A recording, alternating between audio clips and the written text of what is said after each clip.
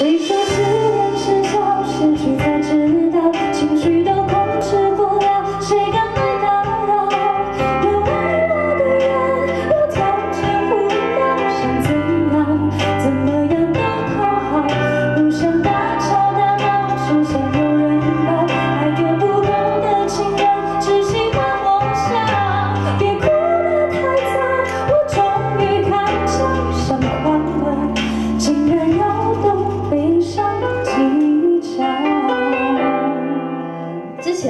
来台湾做宣传的时候，然后有一个嗯帮我租了一个地方住，然后那个对那个啊地方可以看到一零一。哦，远观一零一，对对对，哦所以就是晚上就是是泡澡的时候啊，洗澡的时候都可以看到一零一。哎呦，看着看着就想说，有没有一天可以上来走走，对。对不对？有没有机会在一零一泡？是啊，有 呃，这里好像没有地方可以让你泡澡，上厕所是可以啦。啊哦，啊失恋事小，因为这样的好成绩，应该压力又更大了。对，嗯，所以这一次呢，也是，呃，小小的有压力了，失恋失小，但是我自己觉得这张专辑很很好听，是对。这次呢有很厉害的制作人跟你合作，对对不对？你要不要简单介绍一下？呃，这次也是很开心，《失恋失小》这首歌也是也是可以第二次跟林夕老师合作。林夕哇，对对对对，上一次是伤不起，那这一次是失恋失小。主打歌的歌词，对对对，然后呃，其实就是想传递这张专辑，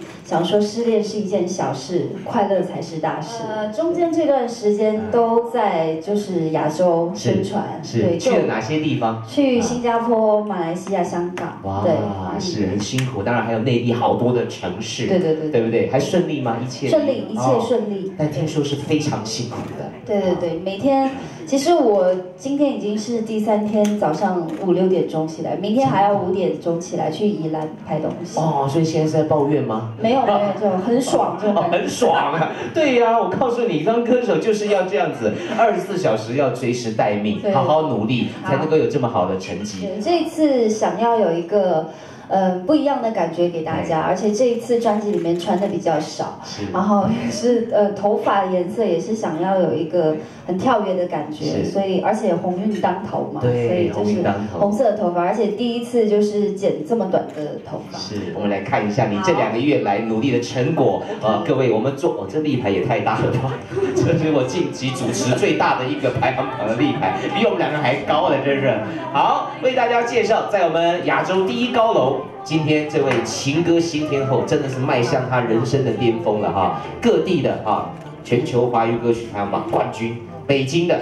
啊，还有我们城市之音的啊，这个各地的，还有蒙牛，嗯，这什么榜？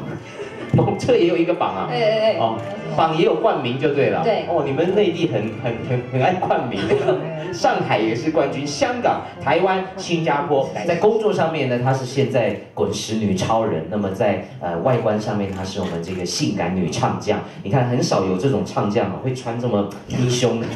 这么低胸，真的很漂亮。但是你知道，你就是内外兼修啊，谢谢太厉害了。可是说实在的，工作这么辛苦，还要被 MV 导演操练，也是蛮惨的。周格泰导演，对，这次在在这 MV 里面，不知道大家有没有看到，在一个老饭店，你就像是一个神秘的啊，这个女子女子穿着旗袍在那走来走去。对对。这个回忆有趣吗？难忘吗？嗯，非常难忘。我觉得这一次，呃，这张专辑的 MV 都非常的难忘，因为我发现拍了几支 MV 以后，就觉得每一支 MV 都有床戏。对呀，怎么会？他们都会把你界定在什么样的地位了？奇怪。嗯，可能就是我之前想说这张专辑要有一个突破，OK 啊。对，所以就每一张专辑摆一张床。哎呀，挺好的，不过这这更彰显你的女人味了。哈，对，但是就是对一个人的床戏。是对还接起来还还 OK 吗 OK，OK 啊，在那翻来覆去的寂寞难耐。期盼的感觉。是是欲火焚身的一种感觉 哦，但是真的是看得出来郁可唯的可塑性，它可以很都会，但它也可以很古典，并不是所有人穿旗袍都能够这么有魅力的啊，谢谢对不对？导演有看出你另外一面，对，看出这也是我对我第一次穿旗袍，对呀对呀很兴奋。是是是，穿起来也特别婀娜多姿啊，然后特别好色的感觉。里面的剧情不是在哦讲对对男人好色吗？对对对对吧？